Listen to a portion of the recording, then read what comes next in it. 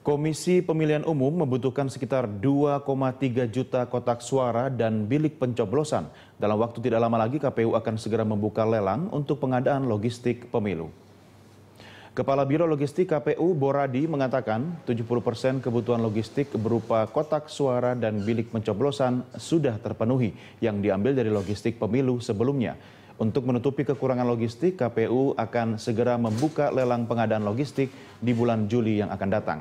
Berbeda dengan proses pengadaan sebelumnya, pengadaan logistik kali ini akan dilakukan oleh KPU tingkat provinsi, sementara KPU pusat hanya bertugas menentukan spesifikasinya.